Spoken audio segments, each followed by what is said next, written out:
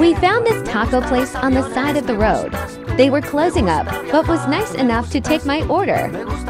It smelled so good. I was drooling. They even gave grilled onions and peppers. Gotta add lime and spice. Oh my god, this is certified bussin'. Pepper hits the spot. Chicken quesadilla was so cheesy. 12 tenths bussin' respectfully.